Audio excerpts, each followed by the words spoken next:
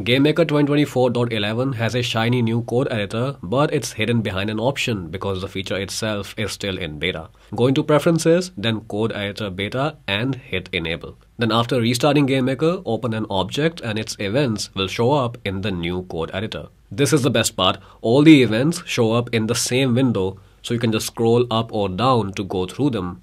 You can close and open them as you want. And if you're not a fan of this, you can disable this from the preferences so that only one event shows at a time. There are three drop down menus at the top, so you can quickly switch between different things. With this, you can change which object or script you're editing.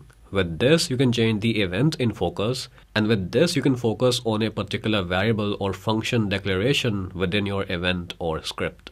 It has a whole minimap here, so you can preview your code at any place and quickly scroll to it. If you use this to edit notes, you can use Markdown and they will appear with the formatting on the right side. You can also preview assets in your notes.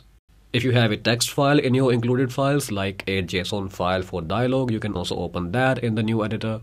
And there are many more features. This manual page covers everything. I'll link it in the description. So go download the GameMaker update and try it out. This feature is in beta, so if you find any bugs, please do report them because that's what's going to help make it even better. See you later. Bye.